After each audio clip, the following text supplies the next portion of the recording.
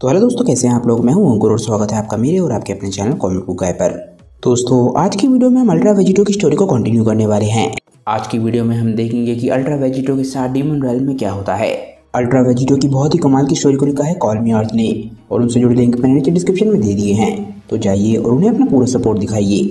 दोस्तों, आज की वीडियो शुरू करने से पहले आप सभी से एक छोटी सी रिक्वेस्ट अगर आपको आज की वीडियो अच्छी लगे तो वीडियो को लाइक करना बिल्कुल मत भूलिएगा, और वीडियो को अपने दोस्तों के साथ शेयर भी ज़रूर कीजिएगा। जिन लोगों ने अब तक चैनल को सब्सक्राइब नहीं किया है, वो चैनल को सब्सक्राइब कर ले, ताकि उन्हें सारी की सारी वीडियो टाइम टू टाइम मिलती रहें। तो चलिए दोस्तों, बिना देरी करे अपने वीडियो पर आते हैं। लास्ट वीडियो के एंड में हमने देखा था कि वेजिटो डीमन रैल में वीस के स्टाफ को समन करता है, पर वहाँ पर वीस का स्टाफ नहीं आता। वेजिटो कुछ समझ नहीं पा रहा होता, और तभी उसे एक आवाज़ आती है। ये आवाज़ बोलती है, बेवकूफ़ एंजल आइटम्स डीमन रैल में एग्जिस्ट नहीं कर सकती। इस आवाज़ को सुन के वेजिटो बिल्कुल चौंक जाता है। हम देखते हैं कि ये आवाज़ किसकी थी। ये आवाज़ थी यामोशी की। यामोशी और ब्रोली दोनों ही वेजिटो के अंदर अभी भी मौजूद हैं। यामोशी और ब्रोली दोनों ही ज़्यादा खुश नहीं लग रहे होते, क्योंकि वेजिटो लूसिफ की बातों में आ गया और प्रीस्ट के खिलाफ लड़ाई को हार गया। यामोशी बोलता है कि जैसा कि मैंने एक्सपेक्ट किया था, तुम एक बेवकूफ़ निकले और लूसिफ की बातों में आके हार गए। मुझे लगा ही था कि चीज़ें अब कुछ ज़्यादा ख़राब होने वाली हैं। जब तुमने मुझे, ब्रोली और बाकी सभी लोगों को ब्लॉक कर दिया, जिसके बाद हम तुमसे बात भी नहीं कर पाए। तुम कैकरॉट और वेजिटा की बातें सुन रहे थे। ये इसी तरीके से है जैसे कि तुम अपनी खुद की बातें सुन रहे हो। और अब देखो कि तुम उसकी वजह से कहाँ पहुँच गए हो। वेजिटो को गुस्सा आने लग जाता है। वो बोलता है कि अपना ये लेक्चर बंद करो। और मुझे बताओ कि इस वक्त हम कहाँ पर हैं। या फिर तुम बस चुप होकर बैठ जाओ। या मुशी शांति से बोलता है, बहुत बढ़िया। अगर ये बात तुम्हें अभी तक ऑब्वियस नहीं है तो मैं तुम्हें बता देता हूँ कि तुम इस वक्त डीमन रैल में हो। तुमने और लूसिफ ने अपनी जगहों को पूरी तरीके से बदल लिया है। और जैसा कि उसके साथ कई मिलेनिया तक था, तुम्हारे पास भी यहाँ से निकलने का कोई रास्ता नहीं है। एटलीस्ट जब तक नहीं, जब तक तुम्हें ये ना पता हो कि तुम्हें कहाँ जाना है और क्या करना है। वो नॉलेज जो कि मेंबर्स ऑफ़ द फाइव के पास है, जो हमने पाई है अनगिनत मिशन करके, इन लोअर क्लास डीमंस को रोकने के लिए, ताकि वो किसी भी तरीके से मॉडल रैलम का रास्ता ना ढूंढ पाएँ। तभी हम देखते हैं कि यामोशी के चेहरे पे चालाकी भरी हँसी आ जाती है। वो बोलता है कि अगर तुम्हें मुझसे वो इन्फॉर्मेशन चाहिए तो पहले मुझे बाहर आने दो। ब्रोली भी यामोशी की ये बात सुनकर थोड़ा सा हैरान होता है। वेजिटो गुस्सा होकर बोलता है कि अच्छा तो तुम ये चाहते हो? अगर ऐसा ही है तो मैं फ़िलहाल के लिए ऐसा नहीं करने वाला। मैं उस बारे में खुद पता लगा लूँगा। आखिर वो कितना मुश्किल हो सकता है? पर तभी एकदम से वेजिटो हैरान रह जाता है। जैसे ही वेजिटो यामोशी की मदद को मना करता है, एकदम से उसे महसूस होता है कि वहाँ पर कोई आया है। वेजिटो देखता है कि उसकी तरफ़ एक बहुत ही ताकतवर बीम बढ़ रही है और वो चौक कर बोलता है कि आखिर ये क्या है? इस बीम को देखते ही वेजिटो एकदम से अपनी अल्ट्रा इंस्टेंट की फॉर्म में चला जाता है। वेजिटो की तरफ़ बहुत तेज़ी से बढ़ रही ये बीम वेजिटो इतनी तेज़ी से डॉज करता है कि पीछे एक आफ्टर इमेज रह जाती है। वेजिटो एकदम से उस डायरेक्शन में देखता है जहाँ से ये बीम आई थी। वेजिटो बोलता है कि वहाँ पर आखिर कौन है? तुमने आज गलत दिन चुन लिया है, गलत इंसान से पंगा लेने के लिए। वेजिटो को आखिर वो लोग दिखते हैं जिन्होंने वेजिटो पे हमला किया था। वेजिटो बोलता है कि अच्छा तो तुम वहाँ हो। हम देखते हैं कि वेजिटो के आगे छः लोग खड़े होते हैं। वेजिटो अपने सामने खड़े हुए शख्स को देख के काफ़ी हैरान होता है। वो बोलता है, क्या क्या वो? वेजिटो के सामने खड़ा हुआ शख्स उसे काफ़ी ज़्यादा जाना पहचाना लग रहा होता है। हम देखते हैं कि पाँच डीमंस के बीच में क्रीचर खड़ा होता है, जो कि काफ़ी कुछ फ्रीज़ा, जनिम्बा और बू की तरह लग रहा होता है। हम देखते हैं कि बीच में खड़ा हुआ क्रीचर एकदम से हँसते हुए बोलता है, यहाँ पर कौन है? यहाँ पर है इस सेक्टर का डीमन एम्पर और एक नए मेहमान के तौर पर यह बेहतर रहेगा कि तुम जल्दी से मुझे सही तरीके से पुकारना सीख लो मास्क के लो लोथड़े। वेजिटो बिल्कुल हैरान रह जाता है और बोलता है, डीमन एम्प्रस उनके बारे में मैंने सुना है। इतने सारे गॉड्स और एंजल्स ने वेजिटो को कितनी बारी डीमन एम्प्रस के बारे में बताया है तो वेजिटो को वही याद आ रहा होता है। तभी एकदम से वेजिटो हंसने लग जाता है। वेजिटो बोलता है कि कुछ सालों पहले शायद ये मेरे लिए सुनना थोड़ा बहुत डरावना होता, पर इस समय तक मैं तुमसे भी बड़ी मछलियों से टकरा चुका हूँ। मुझे इस बात का पूरा विश्वास है कि एक समय पे मैंने तुम्हारी काइंड के सबसे बेस्ट यानी कि लूसिफ की पूरी ताकत को अपने शरीर में झेला है, जिसे द वन ट्रू डेवल भी कहा जाता है। तुम मेरे लिए कोई ज़्यादा बड़ी दिक्कत नहीं हो, बेवकूफ़। तो बेहतर रहेगा कि तुम मेरे रास्ते से हट जाओ। और ऐसा भी नहीं है कि मैं यहाँ पर ज़्यादा लंबे समय तक रुकने का प्लान कर रहा हूँ। वेजिटो की बात सुन के ये क्रीचर एकदम से हंसने लग जाता है। और बोलता है, तुम लूसिफ के बारे में बोल रहे हो।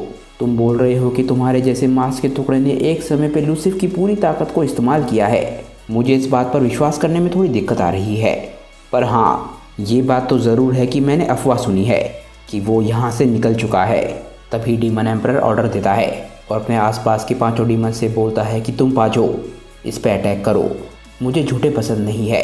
तो चलो हम इसे मौका देते हैं कि ये खुद को प्रूव कर सके। इसके साथ वो करो जो तुम करना चाहते हो। तभी हम देखते हैं कि डीमन एम्पर के बराबर में से पाँचों डीमन से एकदम से ही गायब हो जाते हैं, ताकि वेजिटो पे अटैक कर सके। पाँचों डीमन से एकदम से ही वेजिटो को घेर लेते हैं, पर वेजिटो को उनसे कोई भी फ़र्क नहीं पड़ रहा होता। उसकी नज़र डीमन एम्पर पे फिक्स होती है। वेजिटो अपने सामने खड़े हुए डीमन एम्पर की एनर्जी को महसूस करने लग जाता है और बोलता है कि चाहे लूसिफ कुछ भी था, ये शख्स, ये चीज़ काफ़ी कुछ उसकी तरह ही सिमिलर है। उसकी एनर्जी उतनी ही डार्क फील हो रही है। वेजिटो इसके बाद अपने पास खड़े हुए पाँच डीमंस की तरफ़ ध्यान देता है। वेजिटो बोलता है कि एक समय था जब मैं फाइव स्ट्रॉन्गेस्ट का सामना कर रहा था। और अब इन पाँचों का सच में मुझे क्या दिन देखने पड़ रहे हैं? वैसे मुझे बताओ कि डीमंस के साथ क्या होता है जब वो मारे जाते हैं। पाँचों डीमंस एक साथ वेजिटो पे हमला कर देते हैं और बोलते हैं कि ये हम तुम्हें खुद पता लगाने देंगे। वेजिटो अपनी जगह से बिल्कुल भी नहीं हिलता। और बोलता है, बेवकूफ़ो! एक पल के लिए वेजिटो की एनर्जी गोल्डन रंग की हो जाती है। वो एकदम से ही पावर अप करता है और सारे डीमर्स जहाँ पर थे वहीं पर रुक जाते हैं। सिर्फ़ वेजिटो की एनर्जी से ही सारे के सारे डीमर्स दर्द से कर रहा उठते हैं। तभी सीन चेंज होता है और हम लोग कामी लुकआउट को देखते हैं। हम देखते हैं कि हमारे जी वॉरियर्स अपनी फैमिलीज़ के साथ वहाँ पर गैदर हो चुके हैं। तभी हम डेंडे को देखते हैं। डेंडे अपनी आँखें बंद करके देख रहा होता है कि धरती पे अभी क्या चल रहा है। डेंडे बोलता है, ये तो बहुत बुरा है। ये डीमंस ये पूरी धरती पर फैले हुए हैं। कोई भी कंट्री शहर या गाँव सेफ़ नहीं है। अभी तक जो मौतें हुई हैं, उनकी संख्या ऑलरेडी मिलियंस में जा चुकी है।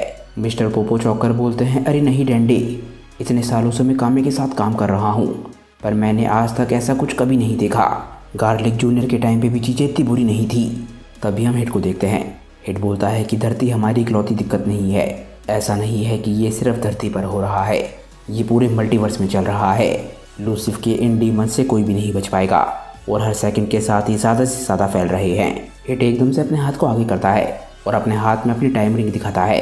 हिट बोलता है कि एटलीस्ट पर इस यूनिवर्स में हम लोग फाइट बैक कर सकते हैं। अभी इसी समय जो री मैंने तैयार करी थी, वो बस पहुँचने ही वाली होंगी। हम देखते हैं कि धरती पर डीमस का कहर जारी होता है और लाखों करोड़ों लोग मारे जा रहे होते हैं। तभी इस सारी तबाही के बीच में हम देखते हैं कि एक टाइम पोर्टल खुलता है। और ये टाइम पोर्टल बाकी सभी पोर्टल से बहुत बड़ा होता है। सभी डीमंस एकदम से इस टाइम पोर्टल की तरफ़ देखने लग जाते हैं और सभी बहुत ज़्यादा कन्फ्यूज़ होते हैं। हम देखते हैं कि एकदम से ही पोर्टल के अंदर से काफ़ी सारे सैयस बाहर निकल कर आते हैं और ये सभी सुपर सैयस होते हैं। ये सभी एक साथ चिल्लाते हैं के गोहान कामिल लुकआउट की एज से ये सब कुछ महसूस कर रहा होता है और एकदम से हैरान रह जाता है। गोहान बोलता है, ये एनर्जीज ये सैयंस हैं। नहीं, बल्कि सुपर सैयंस हैं। पर कैसे? मुझे तो लगा था कि डैड और वेजिटा ही आखिरी गोहान एकदम से पीछे मुड़कर देखता है। वो समझ गया है कि उसे जो जवाब चाहिए वो उसके नज़दीक हैं। गोहान पीछे मुड़ के बारडॉग किंग, वेजिटा और हिट की तरफ़ देखता है। गोहान पूछता है कि अब जब हमारे पास वो मॉन्स्टर्स नहीं हैं डील करने के लिए तो क्या आप लोग मुझे बता सकते हैं कि आखिर यहाँ क्या चल रहा है? आखिर ये दोनों सैयंस कौन हैं? सबसे पहले मुझे ये बताओ। दोनों में से एक ने तो मुझे उनका ग्रैंडसन भी बताया। किंग, वेजिटा एकदम से बोलते हैं कि हम ये परिवार का मिलना बाद में भी कर सकते हैं। फ़िलहाल के लिए तुम्हारा सिर्फ़ ये जानना ज़रूरी है कि हम यहाँ पर तुम्हारे दोस्त के तौर पर आए हैं, ना कि दुश्मन के तौर पर। हम यहाँ तुम्हारे पिता की वजह से आए हैं, वेजिटो। एक समय पर तुम्हारे पिता भी यहाँ हिट की तरह टाइम को मैनिपुलेट कर सकते थे, और उस ताकत के साथ उस समय में पीछे आया हमारे टाइमलाइन में, और वहाँ पर आकर उसने ना सिर्फ़ मेरी जान बल्कि हमारी पूरी प्रजाति की जान बचाई। उसने अकेले ही उस फ्रीज़ा को हरा दिया, वो भी मेरी आँखों के सामने, और उसके बदले में उसने हमसे थैंक्स भी नहीं मांगा। उसके बजाय उसने हमें वो नॉलेज दी, जो कि उसे कई दशकों में मिली थी। सुपर सैयन ट्रांसफॉर्मेशंस की ऐसी ताकत और ऐसी नॉलेज जो कि हम लोग कभी अकेले पा ही नहीं सकते थे। और इतने समय में मैंने उस नॉलेज का पूरा फ़ायदा उठाया। अब हमारे टाइमलाइन में कोई भी ऐसा अडल्ट सैयन नहीं है जो कि सुपर सैयन में ना बदल सकता हो। हमारे टाइमलाइन में सैयन सबसे ज़्यादा ताकतवर और हिस्ट्री में सबसे ज़्यादा डोमिनेट बन चुके हैं। पिगलो एकदम से कुछ नोटिस करता है और बोलता है कि काफ़ी इंटरेस्टिंग स्टोरी थी। पर क्या तुमने अभी ये कहा कि वेजिटर तुम्हारी टाइमलाइन में आया था? कैसे? आखिर ये पॉसिबल कैसे है? हिट एकदम से ही किसी वजह से खाली जगह पे देखने लग जाता है। हिट बोलता है कि सच बताऊँ तो ये एक इतनी लंबी स्टोरी है कि मेरे पास इतना पेशेंस नहीं है कि मैं उसे रिपीट कर सकूँ। और वैसे ये एक ऐसी स्टोरी है जो कि मेरा बताना सही भी नहीं रहेगा। तो मैं इस स्टोरी को अपने आखिरी इन्फोर्समेंट्स पे छोड़ता हूँ, जो कि बस यहाँ पर आने ही वाले हैं। एकदम से ही हिट जहाँ पर देख रहा था, वहाँ पर एकदम से दो शेडोज आने लग जाती हैं। आखिरकार हम देखते हैं कि हमारे हीरोज़ गोकू और वेजिटा दशकों बाद धरती पर आ चुके हैं। धरती पर हमारे हीरोज़ की वापसी हो चुकी है, पर दुनिया में एक बहुत बड़ा ईवल भी इनके साथ आया है। गोकू और वेजिटा की वापसी के बाद उनकी फैमिलीज़ का क्या रिएक्शन होगा, ये हम जानेंगे नेक्स्ट वीडियो में। क्योंकि दोस्तों, आज की ये वीडियो यहीं पे ख़त्म हो जाती है। अगर आपने वीडियो यहाँ तक देख ली है तो नीचे कमेंट कीजिए। गोकू एंड वेजिटा रिटर्न्स तो दोस्तों, अगर आपको आज की ये वीडियो अच्छी लगी हो तो वीडियो को लाइक करना बिल्कुल मत भूलिएगा। और वीडियो को अपने दोस्तों के साथ शेयर भी ज़रूर कीजिएगा। जिन लोगों ने अभी तक चैनल को सब्सक्राइब नहीं किया है, वो चैनल को सब्सक्राइब कर ले, ताकि उन्हें सारे की सारी वीडियोज़ टाइम टू टाइम मिलती रहे। तो चलिए दोस्तों, आज की वीडियो के लिए बस इतना ही।